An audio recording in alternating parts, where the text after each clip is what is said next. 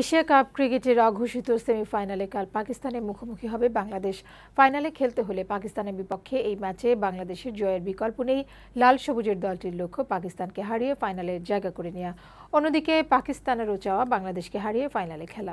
S M সুমনের প্রতিবেদন। টানা দ্বিতীয়বারের মতো এশিয়া কাপ ক্রিকেটের ফাইনালে খেলার হাতছানি রয়েছে বাংলাদেশের সামনে। তবে এই পথে বাংলাদেশকে পেরোতে হবে পাকিস্তানের বাধা। মরুর দেশে এশিয়া কাপে গ্রুপ এবং সুপার ফোর পর্বে একটি করে ম্যাচ জিতেছে বাংলাদেশ। সুপার ফোর পর্বে আফগানিস্তানের বিপক্ষে জয়ে বাংলাদেশের ফাইনাল খেলার আশা বেঁচে আছে। তবে বাংলাদেশের টপ অর্ডার নিয়ে দুশ্চিন্তায় আছে টিম ম্যানেজমেন্ট রান খরায় আছে ওপেনাররা। মিডল অর্ডারও ধারাবাহিকতা দেখাতে পারছে না। আগের ম্যাচে জয়ের অনুপ্রেরণা পাকিস্তানের বিপক্ষে নতুনভাবে শুরু করাই লক্ষ্য মাশরাফি সাকিবদের। গরমে টানা ম্যাচ খেলার ক্লান্তিও বাংলাদেশের জন্য একটা বড় কারণ হতে পারে। পাকিস্তানের বিপক্ষে লাল সবুজের দলের একাদশে পরিবর্তন আসার সম্ভাবনা রয়েছে। পাকিস্তানের বিপক্ষে ম্যাচটি আমাদের জন্য অঘোষিত সেমিফাইনাল। ফাইনাল খেলতে হলে জয় ছাড়া কোনো পথ খোলা নেই। আমরা জয়ের জন্যই মাঠে নামব। খেলোয়াড়দের প্রতি আমার আস্থা আছে।